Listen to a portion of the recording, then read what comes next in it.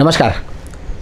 ખબર છે dot com ઉપર કામની વાતોમાં પ્રતિ સપ્તાહ આપણે મળીએ છીએ અને વ્યક્તિના અંગત જાતીય જીવનના કેટલાક જાણવા જેવા કિસ્સાઓ શેર કરીએ છીએ. આજે આપણી સાથે જોડાઈ રહ્યા છે ડૉક્ટર નમિતા ગાંજાવાલા તેઓ પોતે સાયકેટ્રિસ્ટ અને સેક્સ થેરાપિસ્ટ પણ છે અને આમાંના કેટલાક કિસ્સા અમે બંને સાથે જોયા છે. એટલા માટે તેઓ પણ આ કિસ્સાઓની છણાવટમાં આપણી સાથે છે. તો, નમિતાબેન, આજે આપ કયા કિસ્સાની વાત કરશો? આજે જે એક કિસ્સો છે એ એક બેન આવ્યા હતા. એના વિશે આપણે વાત કરશું. એ બેન અરાઉન્ડ થર્ટી થર્ટી ફાઈવ યર્સની ઉંમરના હતા.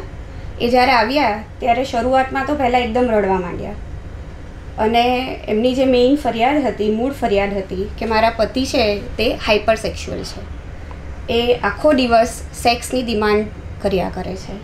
અને હું એમની વાતોથી અને એમનાથી ખૂબ કંટાળી જાઉં છું, થાકી જાઉં છું. મારે આખો દિવસ ઘણા બધા કામ હોય, બીજા બચ્ચાઓને જોવાના હોય, વડીલોને સાચવવાના હોય. પણ જ્યારે દિવસ રાત મને બસ ખાલી સેક્સની ડિમાન્ડ જ કર્યા કરે છે. ઘણીવાર તો મને એવું લાગે કે મારી સાથે જબરજસ્તી કરી રહ્યા છે. જી. હવે હું એક આધ્યાત્મિક બાઈ છું અને સેક્સની ડિમાન્ડ આટલી વારંવાર જો એ કરે તો એ મને ખૂબ થકવી નાખે છે. કેટલી ઉંમર હશે બેનની લગભગ? એ બેનની ઉંમર ઉંમર અરાઉન્ડ પાંત્રીસ પાંત્રીસ એક વર્ષની. યસ જી. અને એ બેનને મને એવું કહ્યું એ એકદમ ચોંકાવનારું હતું કે તમે એવી કંઈક દવા આપો કે ઇન્જેક્શન આપો કે જેથી મારા પતિ નપુંસક થઈ જાય. એમને સેક્સમાંથી બિલકુલ પણ રસ જ ઉડી જાય અને મારી પાસે સેક્સ માટેની કોઈ પણ ડિમાન્ડ નહીં કરે. જેથી માંગણી કરે જ નહીં. યસ હવે એમના હસબન્ડને નહોતા લાવ્યા એ બેન. એટલે મેં જ્યારે પૂછ્યું કે આના સિવાય શું કરે છે તમારા હસબન્ડ કામ ધંધો ને એવું કરે છે બરાબર? તો એમ કે હા આમ તો બધું બરાબર છે. આ સિવાય મને એમની સામે બીજી કોઈ ફરિયાદ નથી. જી. પણ આ એક વસ્તુ તમે મને બંધ કરી આપો કે જેથી મારા જીવને શાંતિ થાય. હવે આગળ શું બન્યું એ વિશે આપણને ડૉક્ટર મુકુલ ચોકસીભાઈ કહેશે. તો દર્શકો, આપે આ કિસ્સાનો પહેલો હાફ સાંભળ્યો કે જેમાં સ્ત્રી પોતે પોતાના પતિને નપુસક બનાવી દેવાની ડિમાન્ડ કરે છે. એ કહે છે કે એને નામર્દ બનાવી દો કે જેથી એનામાં કોઈ સેક્સનો ભાવ રહે જ નહીં. જો રહે જ નહીં તો પછી મને રોજ સવાર સાંજ, રાત એની ડિમાન્ડ અને વશ થવાની કોઈ તકલીફ પડે જ નહીં. હવે મેં જ્યારે એના હસબન્ડને પહેલીવાર નમિતા મને કહ્યું અને મને લાવ્યા હસબન્ડ મને મળ્યા, તો એની વાત તો આખી ઉલટી જ હતી. એના હસબન્ડે મને બહુ ખાતરીપૂર્વક કહ્યું અને જે પછી મેં વેરીફાઈ પણ કર્યું. હસબન્ડના કહેવા પ્રમાણે, હસબન્ડ અઠવાડિયામાં માંડ એકવાર જાતીય સુખ માટે માંગણી કરતો હશે. એ લોકોનો શરીર સંબંધ મહિનામાં માત્ર એકવાર બંધાતો હશે અને માંગણી અઠવાડિયે એક જ વાર કરતો હશે. હવે જે બેનનું વર્ણન હતું અને હસબન્ડનું વર્ણન હતું, એ બેમાં બહુ જમીન આસમાનનો ફરક હતો. એટલે નેક્સ્ટ વાત જે આવે કે અમે સાથે બેસીએ, એટલે અમે ચારે ચાર જણા સાથે બેઠા. અને બેનને એક એક સવાલ અમે ક્રોસ કર્યા કે જે હસબન્ડે રજૂઆત કરી હતી, એમની રજૂઆત હતી, એ બે વચ્ચેનો ડિફરન્સ બતાવ્યો.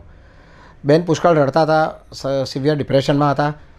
હસબન્ડે યાદ કરાવ્યું કે આપણે યાદ કર કે છેલ્લા ત્રણ મહિનામાં મેં ડિમાન્ડ કુલ કેટલી વાર કરી છે? તો ત્યારે બેને કહ્યું કે ચારેક વાર પાંચેક વાર કરી હશે વધારે વધારે સાત આઠ વાર કરી હશે. હવે વિચારો કે ત્રણ મહિનામાં સાત આઠ વાર ડિમાન્ડ કરી હશે. અને એકચ્યુઅલ સંબંધ કેટલી વાર કર્યો? તો કે કે બે વાર. તો હવે વાત ત્યાં પહોંચે છે કે, વાઈફે જે રજૂઆત કરી અને હસબન્ડે જે રજૂઆત કરી. એમાં વાઈફનું પોતાનું પરસેપ્શન તદ્દન અલગ હતું.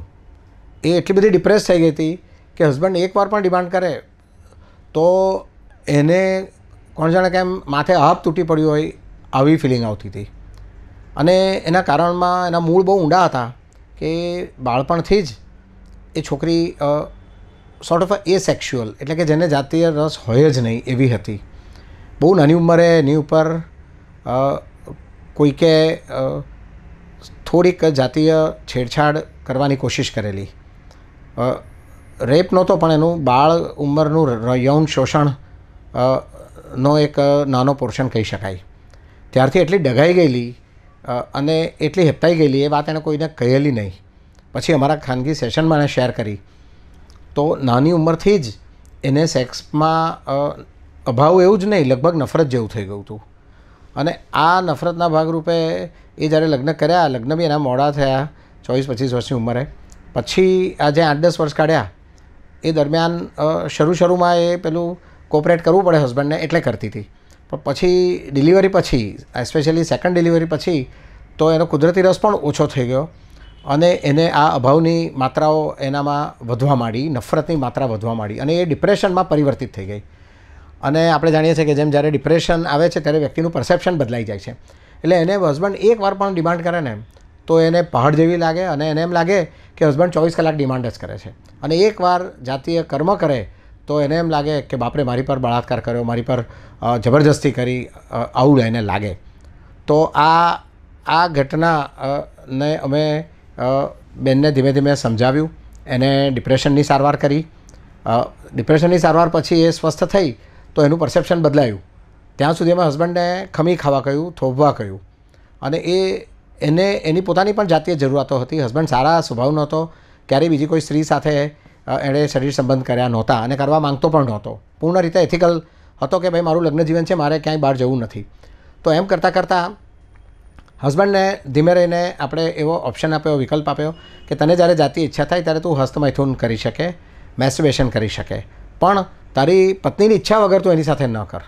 આમ એણે થોડી ઘણી માત્રામાં જે ડિમાન્ડ હતી તે પણ એણે બંધ કરી દીધી. એ બંધ કરી સાથે એવું રાખ્યું કે તું એને પૂરતો પ્રેમ આપ. સેક્સનો એને વાંધો હતો, પ્રેમ કરે, વાતચીત કરે એ બધાનો વાંધો નહોતો. તો આ બધું તું ચાલુ રાખ, પણ જાતીય કર્મ બંધ કરી દે. અને ટોટલી એણે ત્રણેક મહિના સુધી બંધ કર્યું. એ દરમિયાનમાં ત્રણ મહિનામાં એનું ડિપ્રેશન ક્લિયર થઈ ગયું. એને જે ઓરિજિનલ નફરતને બધું હતું એ પણ ઘણું બધું ઓછું થઈ ગયું.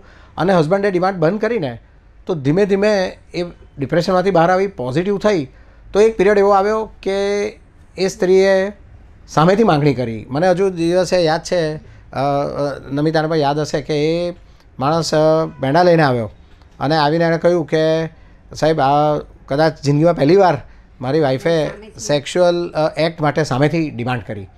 તો આ કિસ્સાનો એક તાત્પર્ય આ છે કે વ્યક્તિ ડિપ્રેશનમાં હોય છે, એનું પરસેપ્શન ઓલ્ટર્ડ હોય છે, તો એને જો તે વખતે હસબન્ડે એની પર વધારે જુલમ કર્યો હોત અથવા તો પોતાનો પતિ તરીકેનો હક જતાવવા માટે એણે વધારે પડતી ડિમાન્ડ કરી હોત, વધારે માંગણી કરી હોત, તો પેલી સ્ત્રી વધારે સંકોચાઈ ગઈ હોત, વધારે નફરત પેદા થઈ ગઈ હોત અને કદાચ એણે આત્મહત ઘાતક કોઈ પગલું લીધું હોત અથવા તો ચાલી ગઈ હોત. અને એક સખત ડિપ્રેશનમાં ઊંડે ઉતરી ગઈ હોત. તો હસબન્ડે થોડુંક ટેકફુલી કામ લયું અને ડિપ્રેશનની ટ્રીટમેન્ટ થઈ. હસબન્ડે ત્યાં સુધી પૂર્ણ બ્રહ્મચર્ય અથવા એબ્સિડન્સ જાળવ્યો. માત્ર હસ્તમૈથુન કરીને ચલાવ્યું તો આજે એ કપલ ફરી હસતું મોરતું થઈ ગયું અને એક નાનકડા સાયન્ટિફિક એપ્રોચથી એક થોડીક સમજદારીથી અને થોડા કાઉન્સેલિંગથી એક યુગલ નવપલ્લવિત થઈ ગયું. ફરી પાછા આપણે કામની વાતોમાં ખબર છે ડોટ કોમ પર. આવા કેટલાક ચુનંદા કિસ્સાઓ અને એના સોલ્યુશન્સ લઈને હાજર થઈશું. ત્યાં સુધી રજા આપજો, ડૉક્ટર મુકુલ અને ડૉક્ટર નમિતાને. ખબર છે ડોટ કોમ પર ફરી મળીશું ત્યાં સુધી. Thank you thank you very much